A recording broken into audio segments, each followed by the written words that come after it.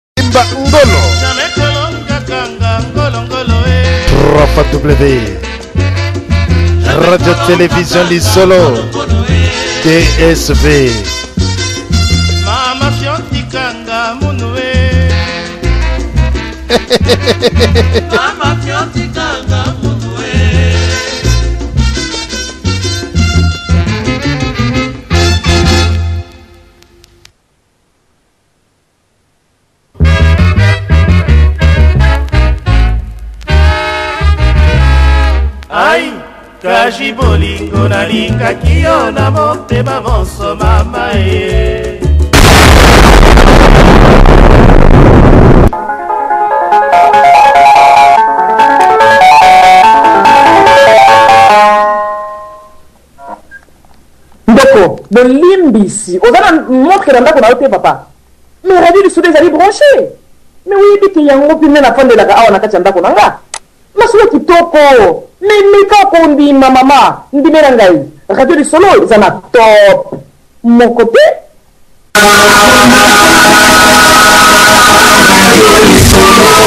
radio lisolo fin kaka radio lisolo wetu wa bana ba mwena kongo elanga biloko ya makeye makeye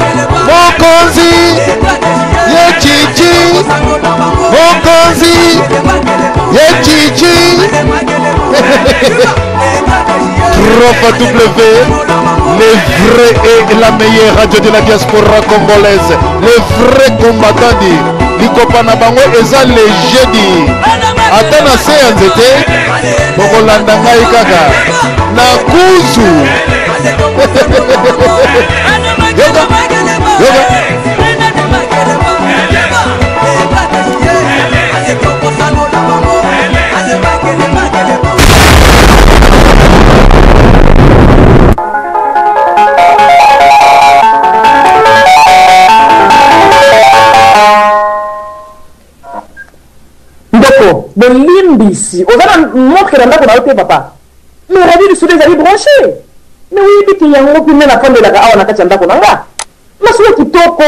mais meka kondima mama ndimela ngai radio lisolo eza na top moko te.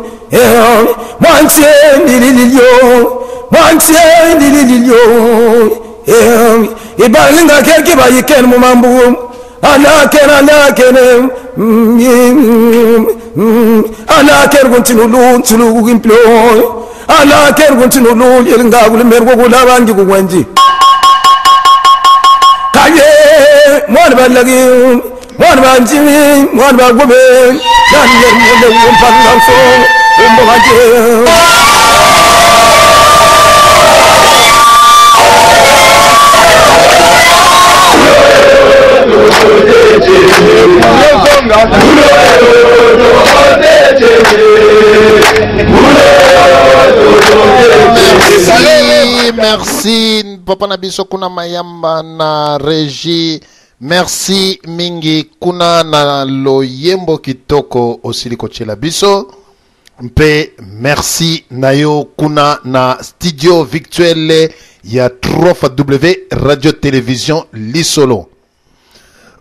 nabanzi bandeko nyonso tu napesi bino mbote mbote ewiti vraiment na motema na ngai na kati ya motema na ngai mpe na kati ya libota na ngai na molongani na ngai sol des anges mbote nazali kopesa bino nyonso bandeko oyo bozali kolanda biso na 3 fois w radio tele lisolo merci na bandeko oyo bozali kolanda biso mokolo mwa lelo Ya liboso, tokumisi Nzambe Mokonzi. Tokumisi Nzambe Mokonzi pamba te ye ayebaki kobatela ngai na yo mpo tokutana lisusu mokolo mwa lelo na nzela ya engunduka ya 3 w radio television lisolo Oyoka mongongo na ngai ndenge na koloba tango mosusu yo olalaki oyebi peut-être ah DSV akosala emission te tango mosusu akobela bandeko misusu mpe bazali na hopital mpe mingi bazali na baboloko bapimeli bango liberte ya koyoka mongongo ya DSV mais yo ozwi chance wana ya koyoka kumisa nzambe oyo apesi yo sante kitoko nzambe wana nani babengami ebele banzambe me oyo ya ngai azali oyo asala likolo na nse mpe oyo atinda mwana na ye akufa mpo na ngai oyo makila na ye esopanaki mpo te ngai na yo tozwa bolimbisi ya masumu oyo nabengi Mokonzi ya bakonzi, le Seigneur Jesus-Christ. Alors bandeko,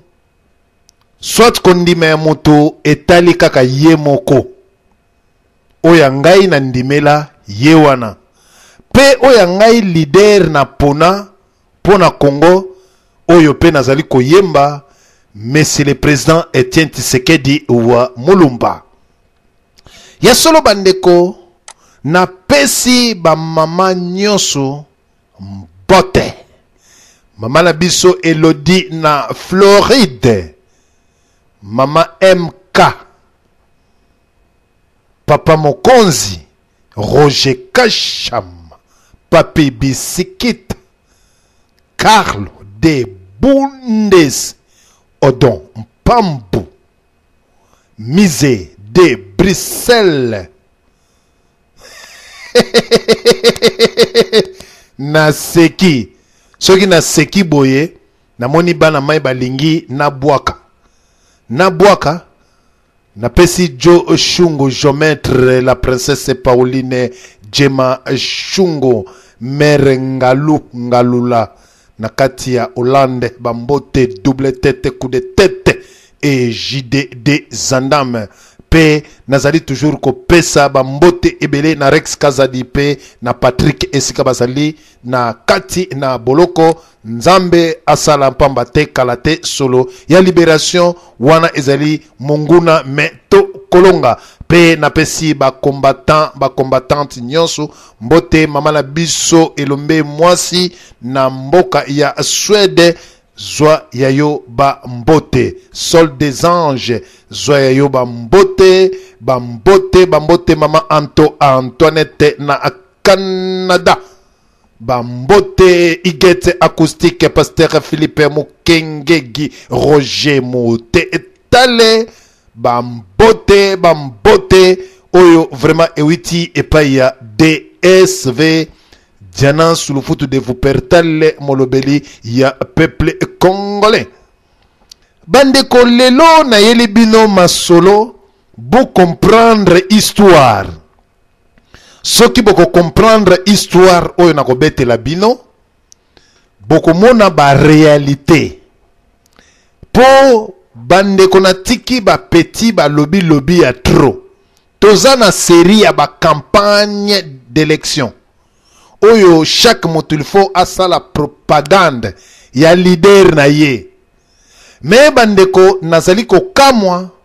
Basalaka propagande ya leader oyo akeyi na ba election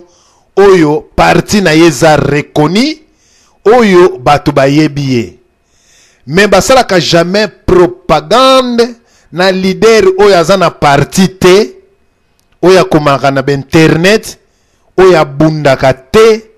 oyo amonanaka te ayaka kaka partir ya novembre to decembre aya kopesa message etanke lokola roi moko boye bazelaka ou bien mobundeli moko boye bazelaka Ya solo bandeko, lelo tokotalisa bino noir sur blanc. Munguna ya peuple congolais oyo tolobi ke groupe ya bato basali likita mpo na kodestabilize campagne électorale ya president Etienne Tshisekedi wa Mulumba, bato banguna balobi mingi. Me bandeko, banguna balobi mingi pourquoi? Nako expliquer bino. bokoyoka ya chichi akoloba bokoyoka ya chichi akoloba bokoyoka mpe felix tshisekedi akoloba na miniti moke nasisa bamasolo ya chichi akoloba eh, felix tshisekedi mpe akoloba hey, eh, ngai bina file nalobi kutu te me natiki bino na na suspense bandeko oyebi motema mabe to likundu Ezali ndeko ya satana. Nakokende mwa moke me lombango mpo bo comprendre motema likundu to ennemi ya peuple congolais ndeko nyonso nazali kosenga na yo esika ozali simba tungle na yo simba tungle omoni deja ennemi ya peuple congolais mpe lokola osimbi tungle zala determine ke motu wana il faut amona oyo bamona mbwa ya solo bandeko na kokata na mokuse ntango tobandaki masolo ya baradio bolimbisi radio oyo tobengi na nkombo ya radio lobiko mpe radio bendele ezalaki te bayebaki mpe makambo ya baradio te nabandi kaka wana bokokomprendre pourkui bato wana bazali binemi ya president ya congo oyo alingi kolongola bacongolais na souffrance oyo ntango tobandaki masolo ya baradio radio lobiko mpe bendele ezalaki te radio lobiko esalamaki ndenge nini radio lobiko esalamaki boye bolanda nga ata mayenge ayoka ngai mpo eza baverite nakobomba te moto nyonso ayebi ntango tobandaki masolo ya baradio radio bendele naza koprecise bien bendele lobiko ezalaki te bokotuna ndenge nini lobiko ebimi mpe bendele ebimi oyo tobengi basatana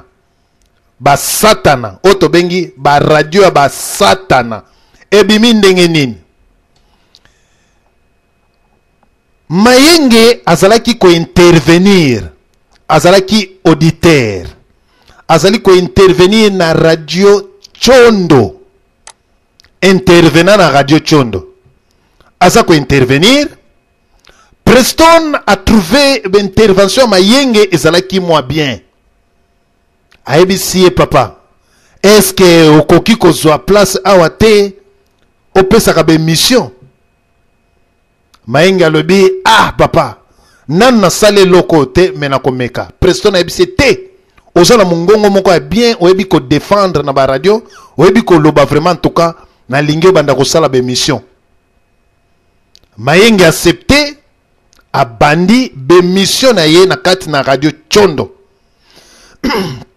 bandeko likambo oyo naza koloba yango vrai nasimbi motema na ngai mayenge abandi emission na ye na radio condo alors eleki mwa bamwa boye baradio toyoka baradio nyonso tu ebengami Na ntango wana tozalaki radio Chondo, Kimpwanza, Bonsomi, radio Lisolo na Likembe. 5 radio na diaspora tobengani likambo ezali awa honore ngwanda esengeli alekana na radio apesa message yango tolobi ke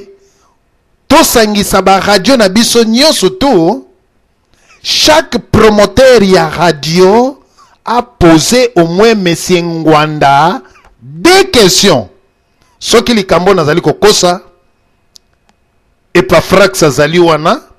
Papa na biso Raphaël Samba Olonga azali akoloba pe Frank Sandoka akoloba pe Jean-Jacques Preston Lukunku akoloba. Chaque promoteur ya radio a posé Honoré Ngwanda quatre deux questions plutôt. Toyokani. Réunion biso tout. Akoleka na wapi? bon tosali biso tout eh, vote wana tomoni ke honore ngwanda esengeli alekana na radio kimpwanza bandeko bolanda nga malamu mpe bokoyeba likundu eye wapi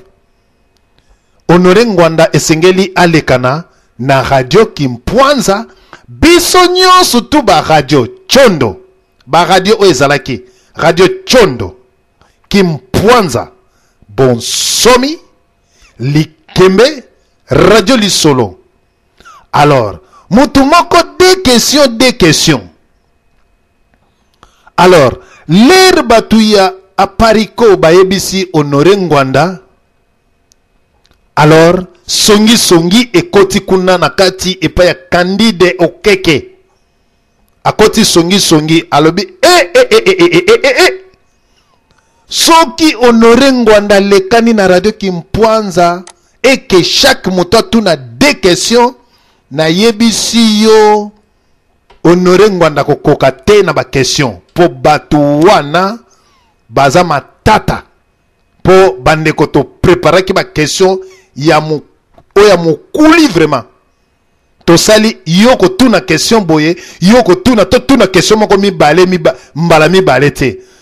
papa raphael azwi oyo ya ye samba eh, eh, raphael samba olonga azwi de question na ye frank San, eh, sandoka azwi de question na ye eh, docteur epafrax sinzeli ya peuple azwi kuna epai ya preston mpe batye mayenge moto akotuna de question candide okeke Akei ayebisi en tout cas ayebisi nani honore ngwanda soko meki koleka na baradio wana bakoboma yo na mituna biso tozali na moto na biso ya parico asalaka na radio condo honore ngwanda alobi ah, moto ya parico asalaka na radio condo eh. alors To gome ba radio wana biso to kende na radio condo mutu na biso ya parico ayamba biso batu wana bakota te po na nini aboyaki ba question kotoyo bakosi biso ke tozela ye tosangisi ba radio tous les 5 Or que Honore Ngwa nalandi kote ya moto ya Parico, biso kote tozozela basala biso signe tobanda, nzoka nde toyoka ye azali kobanda na radio Chondo emission na ye. Ayaye! Babengi biso tozalaki na nzela ya singa, tozalaki Frank Sandoka, soki bandeko likambo nazali koloba yango frank azali wana eh, papa na biso samba olonga azali eh, papa na biso docteur epafrax akoloba likambo oyo oyo nazali koloba ya solo tofanda boye biso nyonso bato bayebisi biso me bozali bofandi boye boyebi te ke honore ngwanda azali kolekane na radio chondo eke guichet ferme bakangi moto azopose bakestion nani mayenge biso tobi me tie pourkui ye afandisi biso akei mpo na moto ya pariko division ebandi wana honore ngwanda ye na division mpo na moto ya pariko bolanda malamu bokoyeba honore ngwanda poni mayenge mpo azali moto ya pariko esengeli ye ayamba ye guichet ferme Mayenge pe ayambi ye guichet ferme. Emission esili, critique ebandi wana, ye azali papa.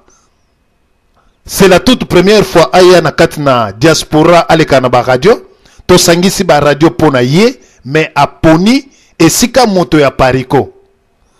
Alors bandeko, tango ma Honore Ngwanda aleki epai ya moto ya pariko, epai ya moto ya pariko ayambi ye mayenge, bandeko, na kati na radio Chondo ekomi kokumisa mayenge okoki kobeta lisolo ata ya moke te o contredire makambo ya honore ngwanda jamais ekomi ye aza kokumisa ngwanda mutu soki na emission na koti na masolo ya ngwanda ya mabe akokata bandoki oyo bazalaka na se ya baskype bato ya parico oyo bazali bato badivisaka ba, ba bato bayebisi mayenge me yo mpe okoki kosala oyo ya yo radio ezala ya biso ya parico Mayenge azalaki na mama Cathy Botuli oyo abandaki kosala na radio Chondo oyo azalaki intervenante aussi bayokani lokola mama Cathy Botuli azali mpe moto ya Parico bayokani bango mibale na Mayenge bakimi Jean-Jacques Preston Lukunku bakei kosala oyo ya bango radio Lobiko esika bake kosala radio lobiko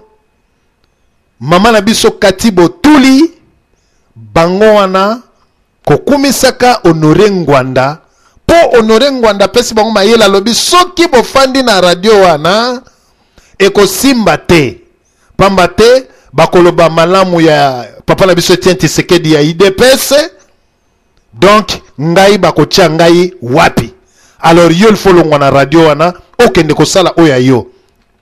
papa na biso nore ngwanda aye adivise nano mayenge azalaki na condo adivise ye nano asali radio sala radio na yo mpo olobelaka ngai mayenge mpe ayebaki makambo ba radio te azalaki intervenant akei mpe asali radio lokola preston aformaki ye na kati ya radio wana na mama kati botuli kaka kokumisaka ngwanda kaka ngwanda kaka ngwanda kaka ngwanda kaka ngwanda ndeko na biso oyo bobengi ilopoka asalaka mwa basite na atyaka mwa banzembo na ye ezalaki mpe ezanga nkombo bor lokola bango kuna na lobiko esika bazalaki bamama kati botuli na bapapa na biso gingele ya ntando na bato misusu kuna bapotani na ndenge ya kosakana te soki bawelelaki nini mama kati botuli oyo akimaki na radio chondo akomaki na radio lobiko kaka le meme kati, mama kati botuli wana akimi lisusu radio lobiko bakei kosala radio bendele bakee na bato oyo bapesi bakombo mabita maboka ba misu pwelele bakombo ya lokuta oyo bapesi bakombo na bango ya solo te moto oyo apesaka kombo ya solo te na lit azali enemi ya peuple congolais azali très dangereux Soki oyoki mutu azali koloba ngai elembo ya mboka to nga libanga ya Congo ndeko kopesa ye confiance te c'est un traitre tout fait mutu aza kobundela mboka ngai na pesa ye ngai Diana Sulufutu ba Roger Kashama ba Odon Pambu tout le monde bapesa bakombo mais bato ya lokuta lokuta babomi alors bandeko Mama Cathy Botuli akimi lisusu akei na bendele bake koyebisa ilopoka oyo abandaki kosala kotiatia mwa banzembo nde na nini eloko oyo tokoki kokomisa yango radio eloko oyo tokoki kokomisa yango radio na bakulutu na biso mbuta wari matingu bake kuna bake kopotana kuna lisusu batia yango ekomi bendele bango wana lokola lobiko ekumisaka ngwanda bendele bango mpe babike biso mpe tomi tomikoma tomikoma boyi ya honore ngwanda tomikoma esclave ya honore ngwanda koleka radio lobiko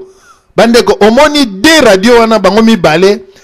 Baza kowelanana mususu alobi ke nakoma cheri ya honore ngwanda mususu pe alobi ke nakoma vraiment momi ya honore ngwanda mususu alobi vraiment ke nga vraiment ko ngwanda abandaka kotambola na likolo na likolo ya nzoto na ngai boye mususu abi te nga vraiment ko il faut vraiment ngwanda atambolaka likolo ya monoko na nga bango barade mibale ekomi kowelela bamama kati botuli na mabita maboka bango tu bakomi kowelela okomona radio oyo bobengi bendele bokomona ebandi kaka kokumisaka ngwanda kotangaka ngwanda abima lokola angelu na kati na radio wana oyo mibale wana alors bayaki de radio wana ebotamaki mpo na mayenge akimaki alongwaki na condo po mayenge azalaki intervenant alongwa na chondo akei na lobiko bake kosala oyo ya bango de radio wana ezali radio ya bangala radio ya bangala honore ngwanda apesaki bango principe ayebisi bango boye preston azali moluba monsonge biso tosala mpe oyo ya biso ya bangala mpo presto naza moluba kokumisa etienne tisekedi or ke jamais presto nakumisaka etienne tisekedi ye moko motu nyonso tu me bango bake na mwa tribaliste na bango bamemi nani oyo mayenge donc ah gawa to bamemi mayenge donc mpo na nini zela na koma Me, merci alors ya solo bandeko esika oyo bazali koloba bandeko bazokomela nga esika oyo baza kokomela ngai Bakimi sikoyo na radio lobiko baye na bendele epai ya ilopoka ayebaki ayebi kutu makambo ba radio te azalaki na ye kaka moto azwaka mwa aza komekameka na ordinatere bayebiseke non est ce que site no tokokomisa yango mpe boye andimi bamama kati botuli bagingele ya ntando oyo balongwaki na lobiko baye lisusu na bendele banda ko adore ngwanda banda mutu soki alingi mpo afuku alala asambeli okombo ya ngwa eh, nda mpe ya nzako ponda soki ya nani après amen alali bakomi kaka kokumisa ngwanda de radio wana mosala de radio wana eya na kati na diaspora eyaki mpo na volonté na bango te Honore Ngwanda nde moto atindaki bango lokola bozali bato ya Parico. Omoni na baradio wana mibale, soki botali bato wana, mosusu abala leki ya mwasi ya Honore Ngwanda, mosusu pere na bango azalaki shofere ya Honore Ngwanda. Mususu père na bango azalaki cuisinier ya Honore Ngwanda. Mususu père na bango azalaki sinzeli ya Honore Ngwanda. Soko tali bato wana nyonso tu wana bazalaki tozobenga batata na bango bazalaki na sous colonisation ndenge tomonaka ba belge ba tia biso vraiment que toza sous colonise na bango ndenge honore ngwanda azalaki mokonzi ya batata na bango nyonso alors bana wana lokola baye kokutana na poto basangani groupe ya bangala balobi ke non il faut tozonga kaka topesa honore ngwanda makasi totya ye leader ke na kati na diaspora ye moto aleki ye moto atelemisi peuple congolais ye moto alobaka maloba ya malamu bana wana bakomi kokumisa ye mpe bazali koloba makambo oyo ya lokuta oyo jamais honore ngwanda ata na ndoto akanisa yango ata na makanisi na ye eya te alors bana wana bazali kofabrike makambo oyo ya lokuta mpo na honore ngwanda alors esika esalami bongo partage ekomi partage ekomi honore ngwanda lokola azali mutu oyo azali diviser nabanzi bandeko bolandaki youtube moko boye ya mama na biso mama bobila dawa mama bobila dawa alobaka na bande video moko boye alobi soki lelo congo ebeba mobutu azalaki na ba mauvais conseiller ezali honore ngwanda nde moto abandaki kotia songi songi na bakonzi nyonso tu eloko ya malamu okomona honore ngwanda aye na litoi aza koyebisa mobutu na kingwande abongo lelo ye abima lelo opposant alobaka yo mobutu mabe mobutu boye na boye eske ye ayebi bolandaki makambo ya mama bobila dawa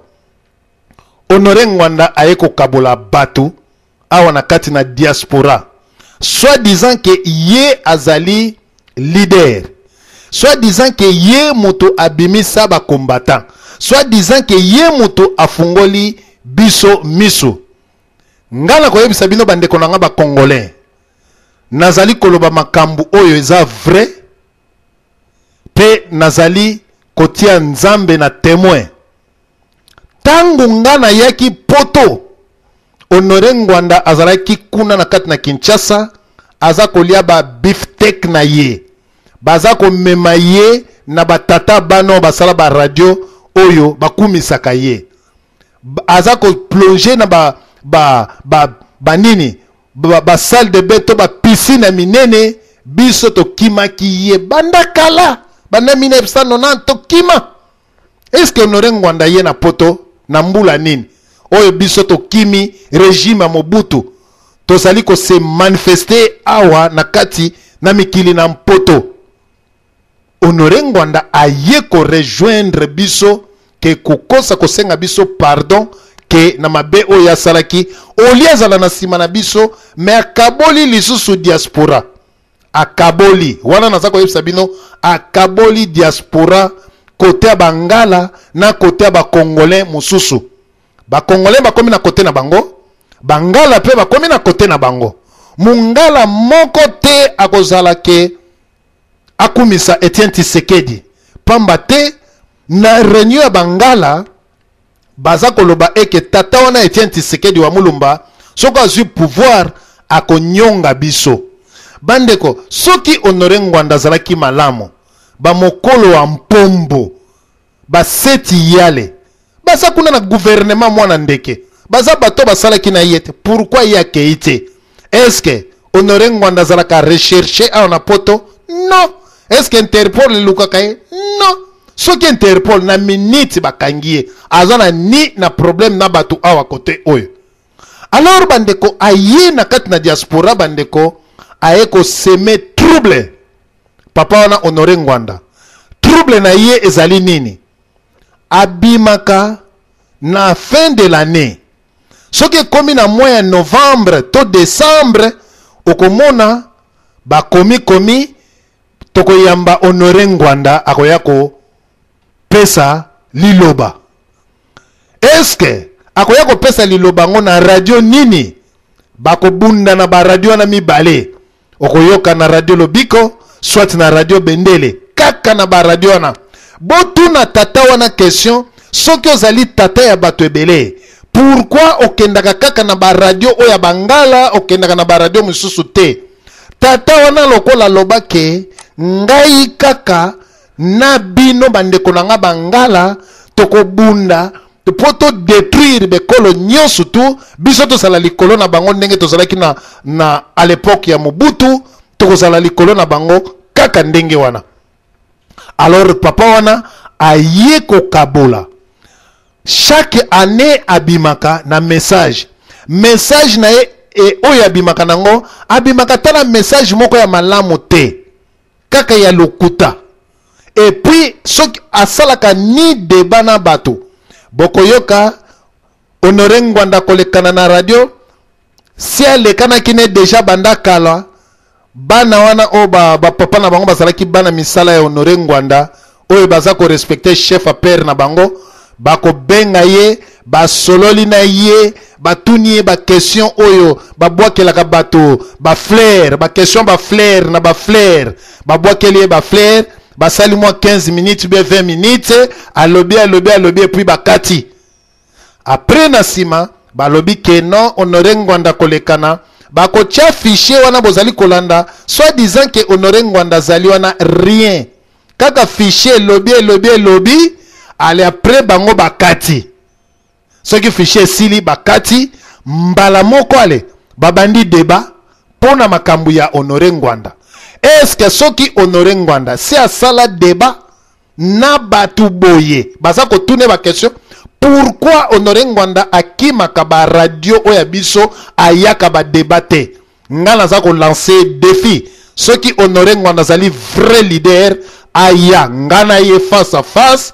natuna ye baquestion arépondre na baquestion mpamba te esika oyo bakenda koberse ye esika oyo ye akaboli diaspora alingi biso tozala bomoko te apesi baradio wana gu oyo ya bangala ya kala tobunda mpo na biso alors bandeko ba radio wana mibale ekomi toujours kosala kilsa personnalité ya mutu wana mutu wana abundaka jamais bandeko boyebi kosomba manduki na kati na mokili oyo nayebi te soki ye manduki oyo alobaka asomba yango na pays nini soki vraiment asomba manduki eke azalaka bien na bato ya bamboka oyoyo nde kala nde mwana ndeke esi alongwa manduki ezali te akotambusa biso na lokuta totali ntango oyo ya jean pierre mbemba me papa honore ngwanda alobaki basoutenir mwana mboka me lelo oyo ekomi na ntango ya etienne tisekedi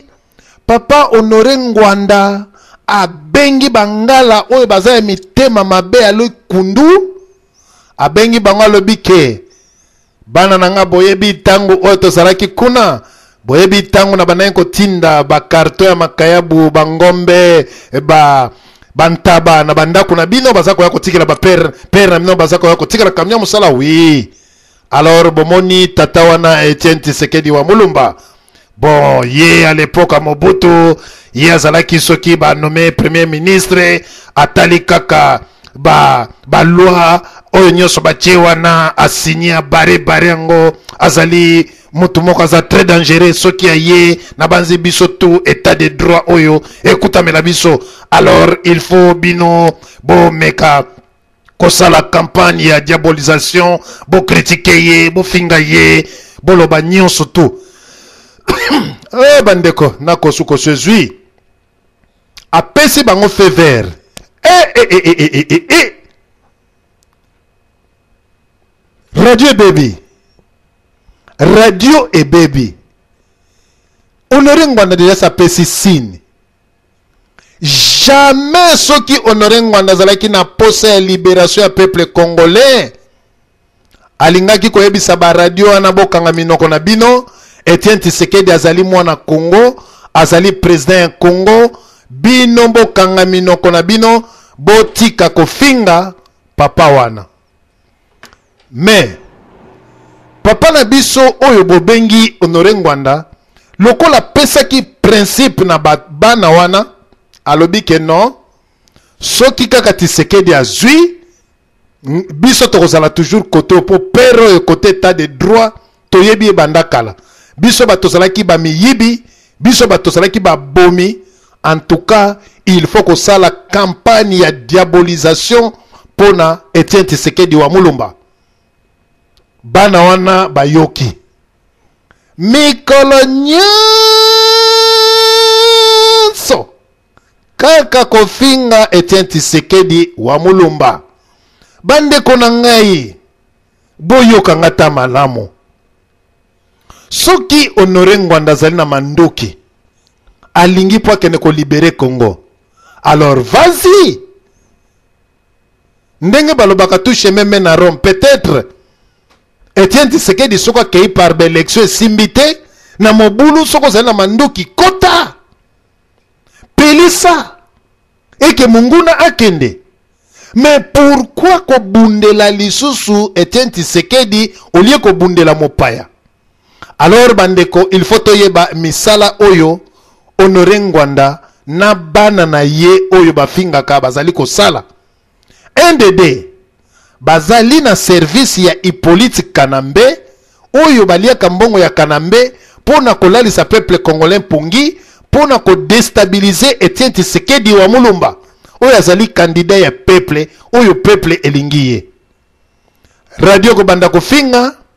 na banzi ngai nazali koloba boye na ko discuter na papa na nga Honore Ngwanda par ba arguments tokosala debat na ye na ba question selon ba argument na ngai oyo nabanda koapouse yango nde ekolakisa mwa lolenge oyo ngai natangela mpe lolenge oyo ya ngai nakoki jamais kofinga papa honore ngwanda kati na nzoto na ye ou bien na libota na ye jamais politique ezali politique oyo tokoloba remarque me kofinga papa honore ngwanda tokotikalaka na kotikalaka te kofinga ye parce que ezali education te me tozali komona nini bato oyo bapesa bakombo ya lokuta bakosimba papa etienne tisekedi na kofinga Bandeko, nayebi te ba radio yango lokola bolongwaki epai ya Jean-Jacques Preston Lukunku, bokei kaka kosala mpo bayoka bino ba voix na bino,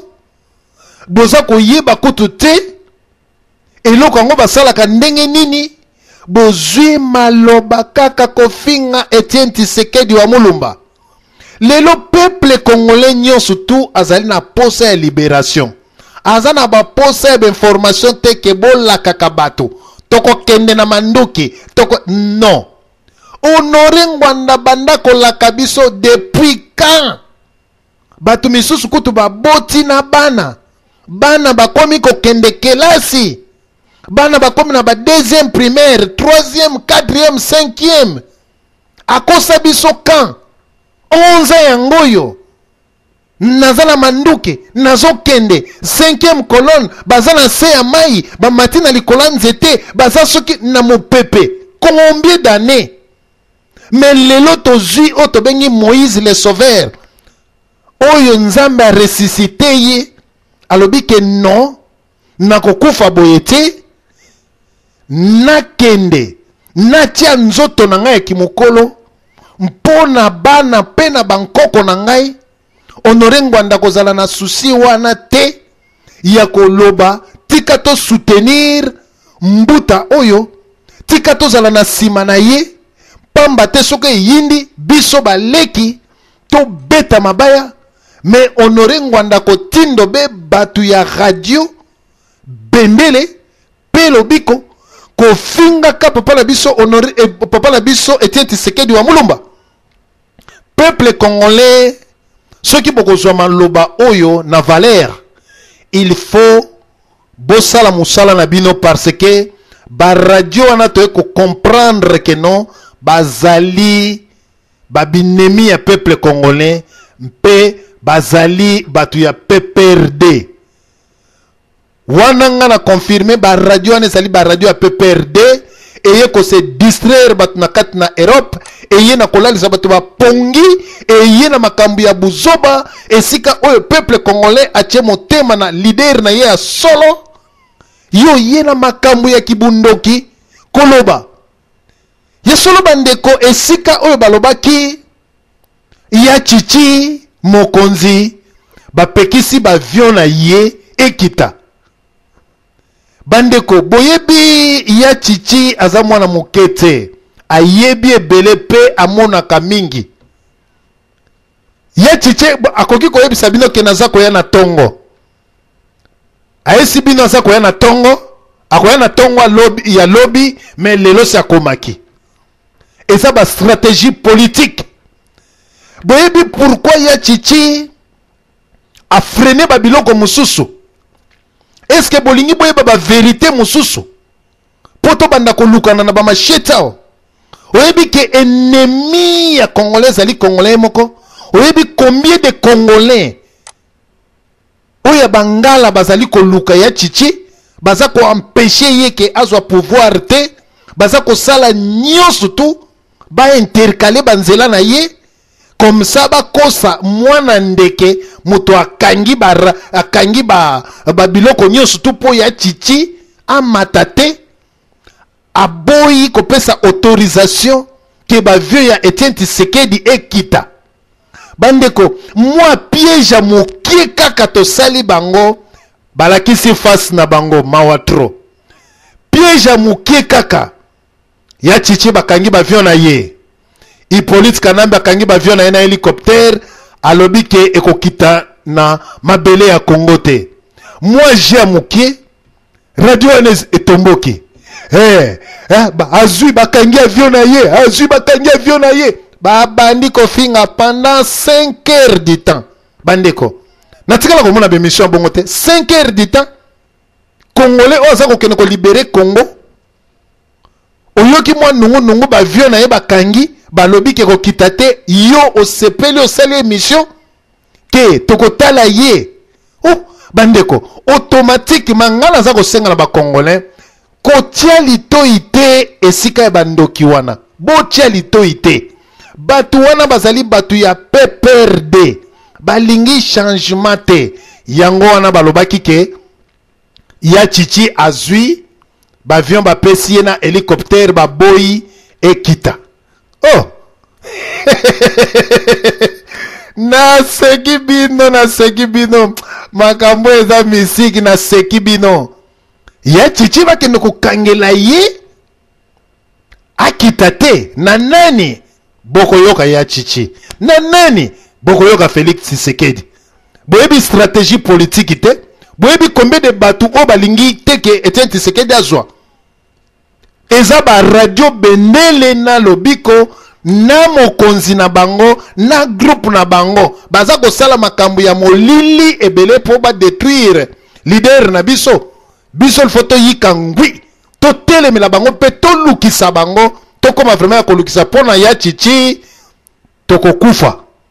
pona ya titi en tout cas ekozala matata po peuple nyonso tout alingi liberation ya peuple congolais peuple nyonso tout alingi liberation ya peuple congolais yo nani okoya kointercale yo nani na radio na yo oya kaka obanda kofinga etienne tisekedi oyo president oyo mokili mobimba elingi oyo eponi oyo ya bino lokola baponi ye te oyo ya bino alala pongi alobaka eloko te yango mosala bokofinga awa ngai nazali koloba boye bomoni esika na fingi honore ngwanda bomoni esika na fingi intimité na ye jamais aza papa respect me na makambo ya politike tokosolola makambo ya politike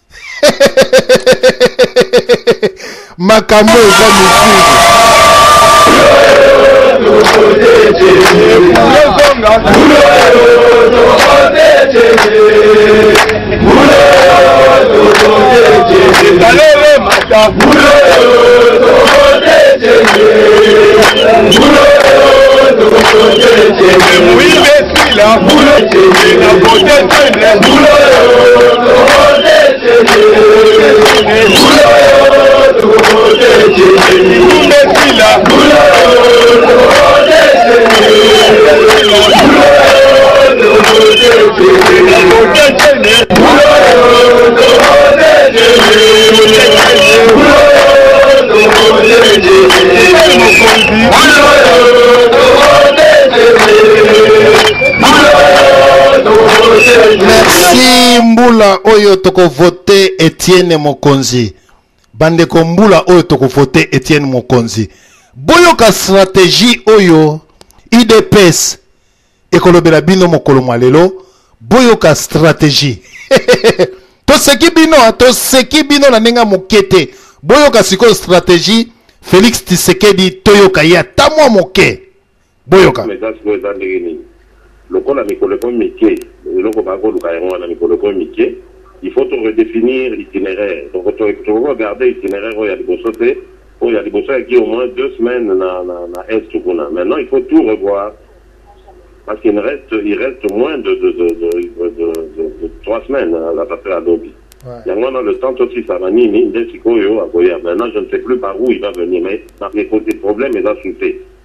C'est ça qu'il faut dire na banane, c'est tout.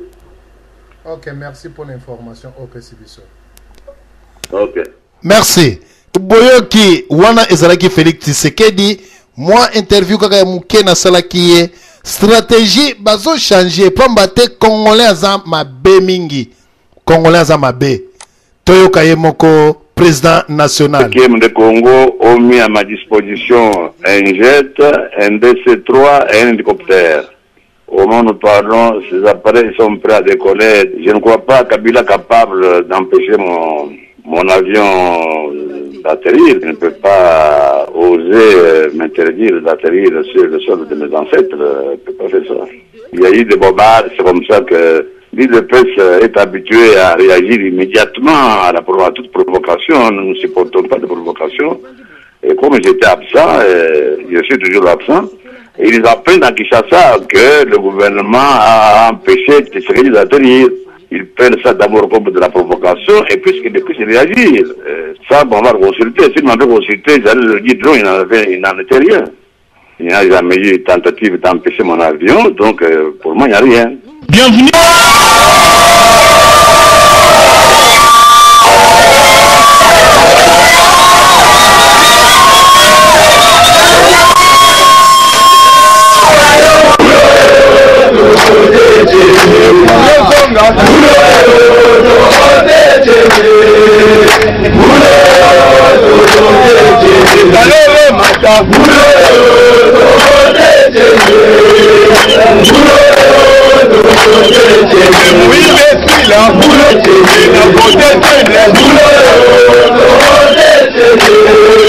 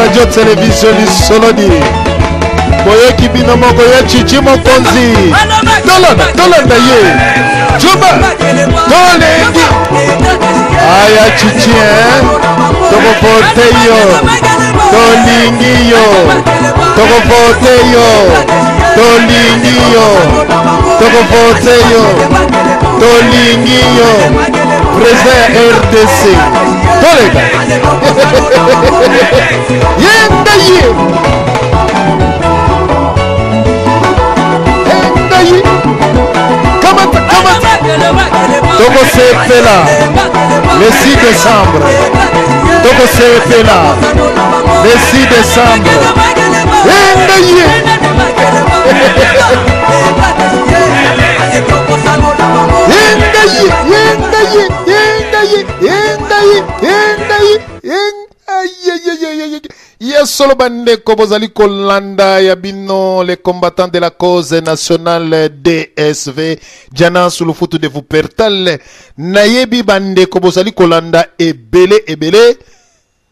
na radio lisolo point com etondi na point net etondi na point teka etondi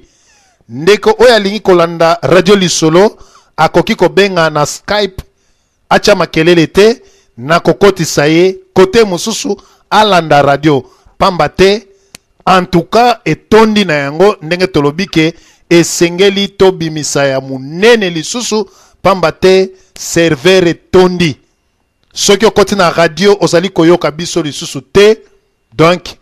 niveau ya batu eleki eleki esengeli na mutu oyo po na respect ya ba auditeurs na biso oyo azali kozwa radio te abenga na Skype ya radio lisolo na kokotisa ye na nzela ya singa alanda emission live mais makelele te pamba te moyen asala autrement ezali te eza vraiment plein plein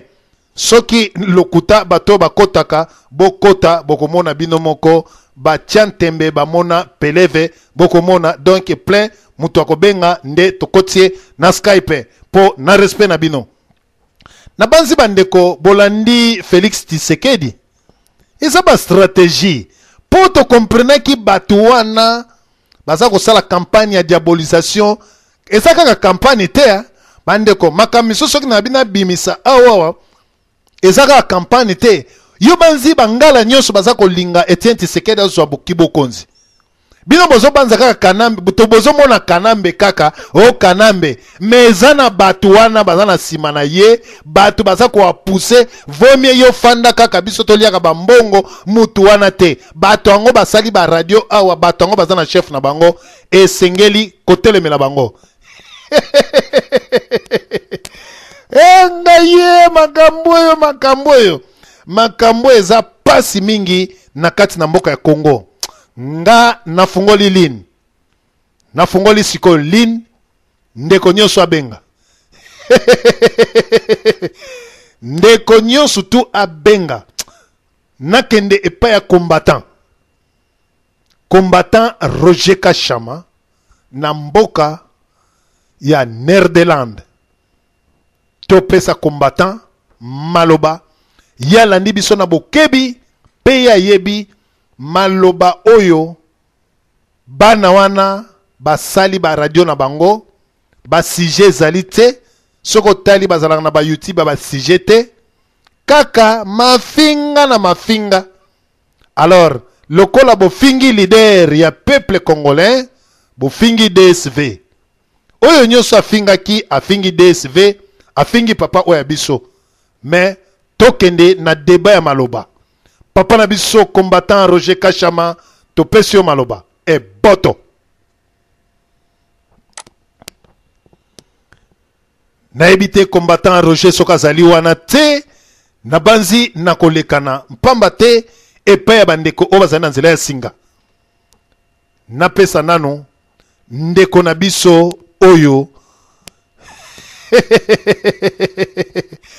topesi na ndeko na biso andre mbaya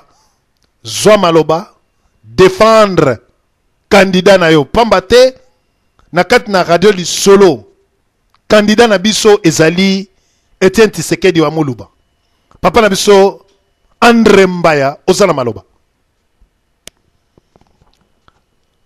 alors tomoni papa na biso andre mbaya azali koloba te papa na biso mpe roger kashama azali koloba te nakende epai ya jeune pasteur odon pambu topesa yo maloba nabanzi namoni bandeko nyonso ondire bakangi mwa Makelele bazali koyoka te. Allo DSP. Ok. Ah, bonsoir, na pesi bandeko nyonso bambote bana na conférence. Nauti kokota sikoyo je pense nayebi euh, mpo radio nyonso donc nazokota donc eza ya kotonda donc moyen kutu nakota eza te nazwaka te tiyango naye na skype nayoka nano teme bon comme ça nakocontribue merci beaucoup merci nabanzi eh, papa na biso andre mbaya soki olandi biso nabanzi papa na biso mpe azali koyoka biso te andre mbaya alandi biso te nayebi te papa na biso papi man soko olandi biso na bokebi oui merci nalandi bino na bokebi oui. mbote na yo ndeko dsp eboto papa vraiment tout cas makambo oyo olobi en tout cas vraiment efaire raisonne ngai mingi parce que naye kosala constat ke tala kaka na epoque ya nini ya Jean Pierre Mbemba pona ba election ya, ya Jean Pierre Mbemba ba radio wana mibale wana oyo tangi wana na ye moko Ngwanda bande toujours eh, nini ko appuyer Jean Pierre Mbemba il faut ko voter ye mwana mboka boye na boye na boye wana azali rwandais bon sikoyo ekomi na ntango oyo oyo ke ntango ya papa Tshisekedi omonaka ba radio na mosaka kofinga butu moi kofinga bazwi meme na bubuzela na bango moko boye papa moko oyo sope molope aloba ya libela donc yake de bêtise eh ozo mona pena kelo ki tribalisme moko donc ya kosakana te eh pona pona na tango ya Jean Pierre Mbemba bangala wana eh bangala wana basalaki nyonso pour toujours ko appuyer toujours ko appuyer toujours Jean Pierre Mbemba omoni kaka tribalisme en tout cas bande ko na rythme wana toke na mboka oyo toko finir tokabwana so to continuer kaka ndenge wana parce que tozomona ke ekomi donc boka eloni epusaka bato bakabwa mpo ya nini ki tribalisme oyo kaka biso baoyo balingi badomine baoyo oyo sikoyo lelo ekomi nini ke baswahili bakomi kodomine botanga kaka na nini na afro nini afro ah, nini afro congo te time rdc ozomona ke na na oyo na katanga pour le moment bakomi koatake baluba ozo komona anta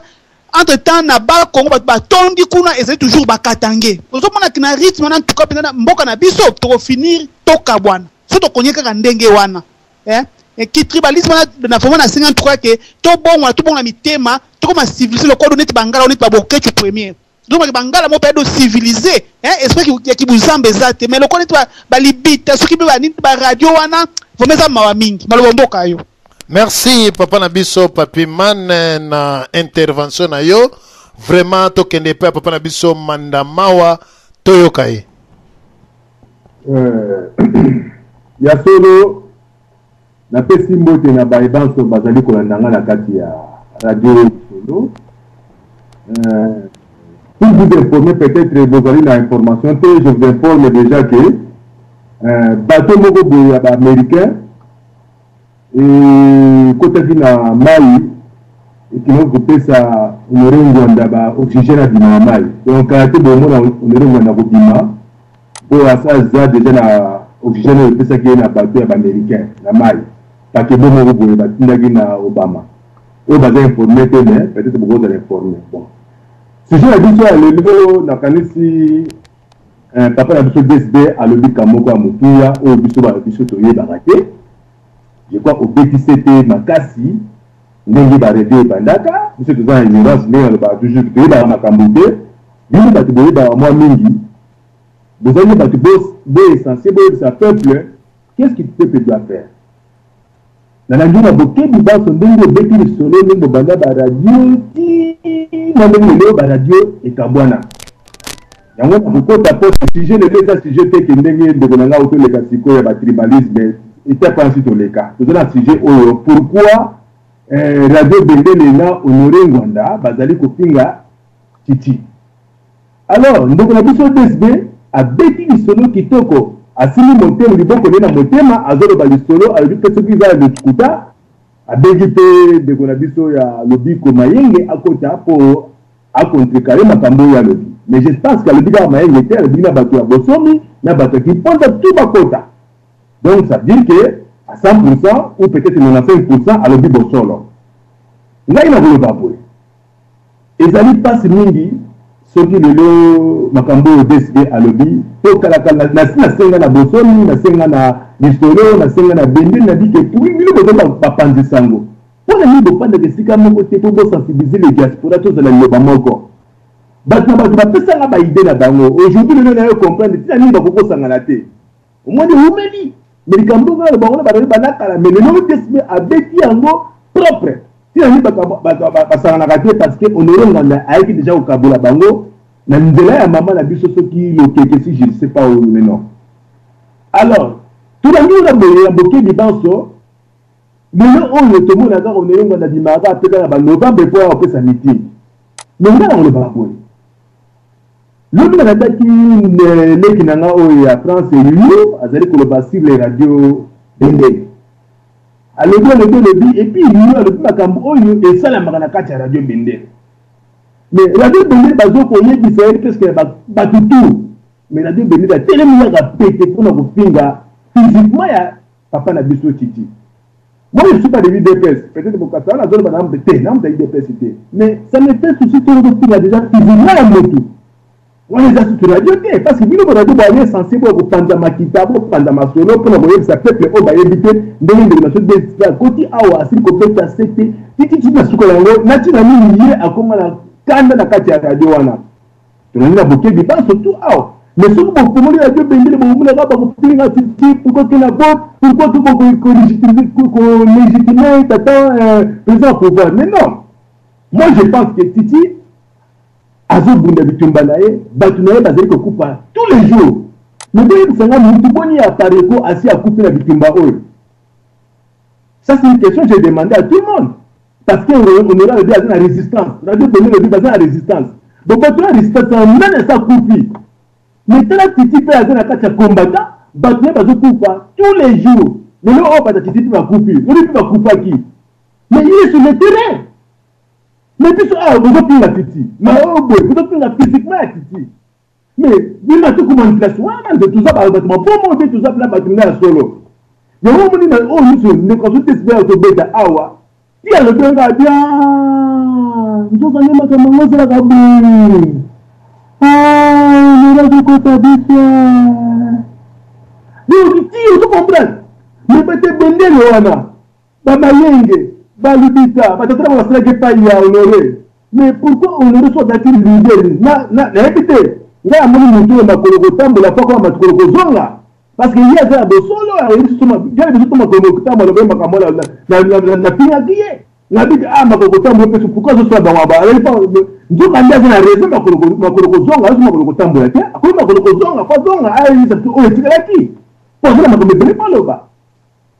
Comment bango basalaki seng radio olelo ngwanda apesa apesa bango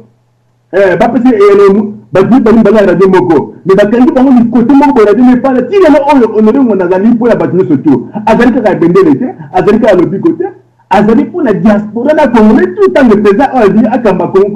république démocrate me koma alobaka na kwe moko boye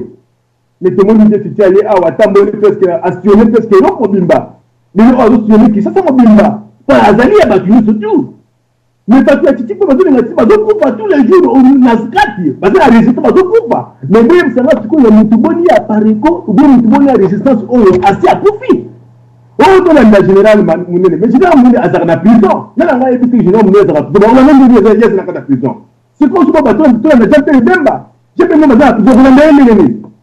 sikoyo bozokosa biso oyo jitala monene azali azali eza na zamba aza na zamba te jitala monene azalaka na prison banda asala intervention na ye après na radio bendele koleka wana kaka ba mikolo yaka bapa bakanga ye akota prison ti lelo me omona radio bendele biso tuka na nsima ya general monene me zamba ni general monene azalaka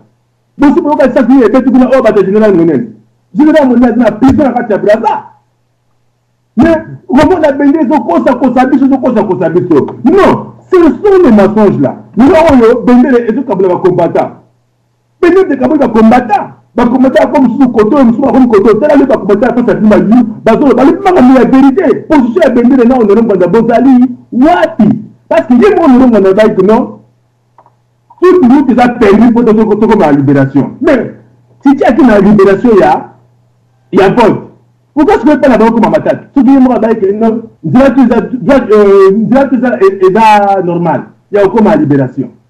mais bozomona tike eza normal te donc po tokoma suka systeme ya jalelo kaka jalelo jalelo jalelo kaka honore mwana moto aza capable ya kosala na kati ya congo mais quand tozomona bato awa ah, meme ata bapetio bakangami oyo ya france pares oyo akokoma mpe président baitele bato ebele ebele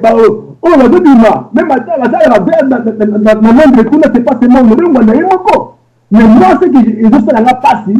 Papa radio oyo eza sense epanza makita ezali kofinga intimite ya papa chichi azofinga meme pas papa chichi mais famille oyo ya ye ça ne suis pas d'accord c'est pour ça donc leo comprendre que non a eh, makambo oyo tosi balobi na fandi na bi oh mais ah yango namonaka barebe oyokanaka te mpona makambo ya boye donc namoni ke papa desbe dema Botikla biso na ko conseiller yo tant que mopanzi sango ya ba radio bokota na système ya tribalisme te ndenge ndeko ya otolo ba bien que eza sujet te mais bokota na yango te parce que titi alobi alobaki bien alobi na moni Congo oyo ezali Congo oyo bango baza kowela ki mokonzi te parce que lelo biso tu tosangana bangala bambala bakongo banani baluba toza esika moko alors titi azoloba yango bien te toza na mokili toza komona liboso te ya batribalisme eloko amoni kuni motu tu toza esika moko alors tozonga na systeme oya te ezala oyo oh, radio oyo oh, radio ya bakongo oh, radio oyo radio ya bangala radio oyo radio ya baluba vraiment ekozala mwa mpasi mingi ndenge ndeko oyo alobi ke bandeko mosusu baza kuna na kati ya bakongo bazali bato eh, ya shaba bazosala na kati ya bakongo alors sor na bango ezala koma soki tokomi na bokabani oyo boye soki tolandi gestion ya honore ngwala Tokokoma na tribalisme wana ma je pense que ezali je oyo biso tokokota na yango te biso toke na liberation oyo nzela oyo ya mokuse bato balobaka yango soki olelo ngwanda ayebi ke nzela wana ezali permi te mais ezali koti ya die bapesi ye ntango kuna bakotriche ayatisi minduki na ye akoti facilement azuki mokonzi ye soki akoterorize biso ndenge ayoki biso lelo toasepta yango Mais biso toza na besoin ya ya democratie ekota na mboka. Mais soki ye amoni que non, banda abeli yo lobi eh, banda banda makambo na ye bana sikoyo bakomi na ba 6 ans, 7 ans, 8 ans bakomi na ba age ebele. Mpo porte ezalaka te. Porte yango atiti amemeli ye. Ye abongisi mandongi ya nsima titi, ntango bazende titi aye akoti. Après soki akoautorize ko peuple congolais ndenge alingi, ndenge bendele na lobi ko ezali kaka radio na bango, toko accepter to achoix te parce que ejali na loba eza eza ndenge wana. Mais pour le mat Papa Titi aye azwi maso na democratie oyo alobi ke non nakotika bino mboka bino nde bokosala na mboka na bino ngai nakotika bino nakokosela bino kaka instruction na kati ya mboka na droit ezala na mboka na moto ayeba valeur na ye donc est ce que ezali kaka makasi vraiment papa desi te yango wana nayebi te nakoloba soki ozalaki momi na ngai nde naluli yo mais lokola ozana momi te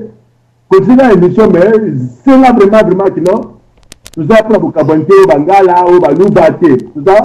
bana tozobundaka eloko moko kaka liberation ya peuple congo tozobunda eloko moko kaka congo ezala uni alors soki bengi azokotie masolo na ye akontinue nde osos kitoko so claire mais eza soni mingi na lider lokola ngwanda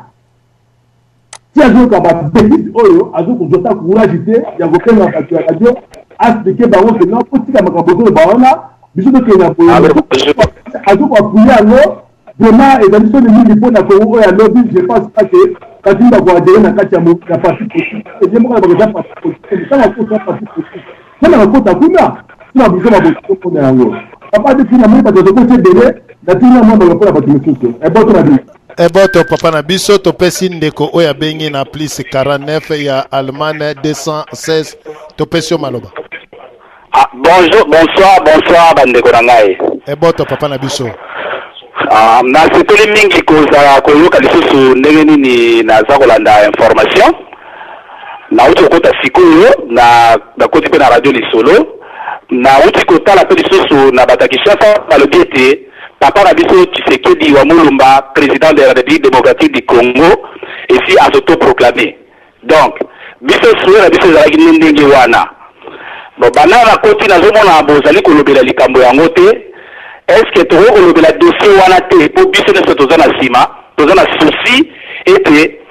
Papa na biso Tshisekedi wa Mulumba azua pouvoir po te Congo elongua na bowumbu ya ba bandit ya ba Rwandais ya ba genocidaires na mboka na biso Congo. Esengeli biso nionso bana Congo tozala na sima na ye. Meme ba ba Honore Ngwanda, ba ba Bemba bango nionso baza ba Congolais. Meme ndeko oyo ozali koloba na kati na radio ozali Congolais. Donc makila ya ba Congolais esopani mingi na mboka ya Congo. Yango wana biso ba congolais esengeli tozala tozala sima ya papa Etienne Tshisekedi et puis radio na biso oyo e appuyer papa Tshisekedi po ete tokende liboso mboka na biso ekende liboso ezali te lokola ye akozwa pouvoir allez to tokotika nyonso makambo kaka ndenge wana ye a continuer na pouvoir na ndenge na ye moko non biso ba combattants tokozala na sima ya papa Tshisekedi et puis toko controler makambo nini oyo ye Akobanda kosala. Soki akosala mabe, tokotelemela likambo wana. Ezali te ke lokola aza Congolais, tango akozua pouvoir, biso tokotika makambo wana, tolobi ete non, totika kaka lokola aza Congolais, asala ba betises. Non, tokozala na sima, toko contribuer na developpement ya mboka na biso Congo. Vraiment nasepeli mingi ndenge bopesi ngai parole naloba, nazosenga ete biso nionso toza na sima papa Tshisekedi pe naza na esengo mingi ndenge papa Tshisekedi a comprendre likambo yango aza na sima ya ba peuple congolais po ete soki tozali kozela kaka donc mboka na biso ekokende na na ba rwandais toujours nayebi ke bako trique ba election pe bazali na baza na mbongo mingi baza très fort na kati ya mboka donc eluka ba bato bakufa yango wana esengeli ete biso totelema mpo te tobongisa mboka na biso Congo mpo te mutu moko te mopaya te oyo akobongisa mboka na biso Congo merci et boto na bino. Merci eh, papa na biso na intervention ya kitoko na zonga nanu mpe Roger Kashama soki micro na ye ebongi te na kei papa na biso Roger Kashama nayebi te soki micro ebongi ou bien topesa papa na biso Odon Pambo.